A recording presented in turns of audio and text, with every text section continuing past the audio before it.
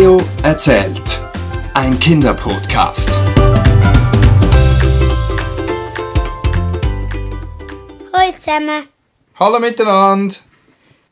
Heute erzähle ich euch über das Eichhörnchen. Ja, sag mal Theo, hast denn du schon mal ein Eichhörnchen gesehen? Sogar schon mal in der, in der Stadt. Ich bin mit, mit meinem Opa und mit dem Elio gehe spazieren und dann sind wir an einem Wald vorbeigekommen. Dann hat abseits auch noch ein paar Bäume gekommen. und dort ist, hat der Opa gesagt, schau mal, dort oben bewegt sich ein orange Schimmer. Dann habe ich gesagt, aha, das ist glaube ich ein Eichhörnchen.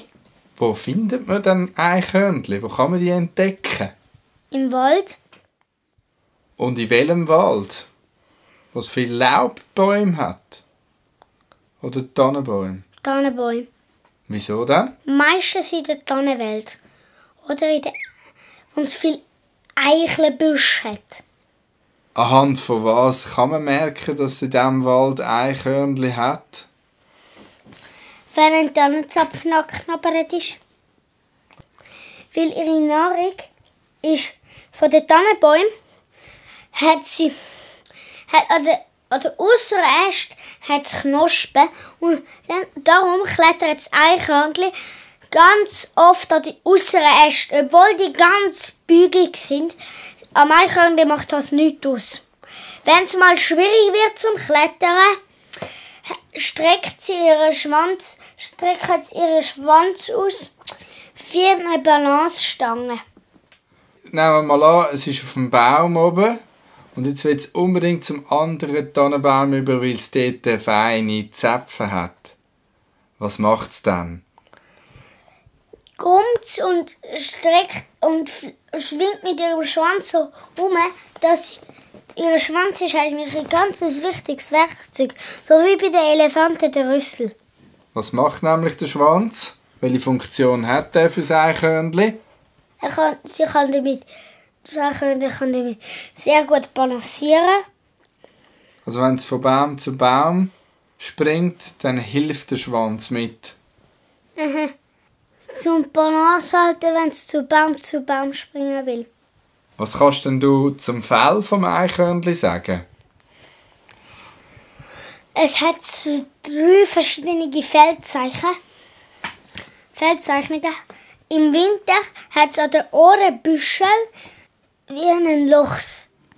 Und im Sommer hat's, sind die Grasbüschel weg und es ist, und es ist ganz hellrot.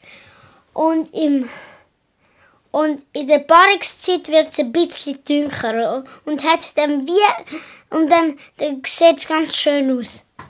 Wo wohnt denn das Eichhörnchen? Im Wald. Aber wo genau? Kobbel.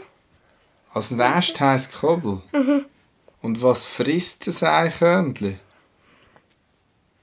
Alles, was Schale hat und Tannenzapfen, Knospen, Pilz. Auch Pilze, die für uns Menschen giftig sind, hat Eichhörnchen genauso gleich gern wie Steinpilz. Wirklich?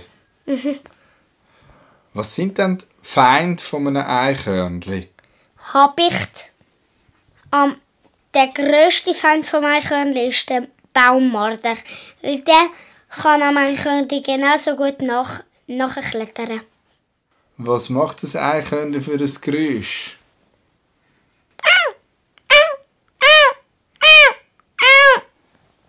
Hey Theo, danke vielmals. Haben wir einiges über das Eichhörnchen erfahren? Tschüss zusammen, das war es von Eichhörnchen und ich freue mich, dass ihr reingelassen habt. Bis zum nächsten Mal.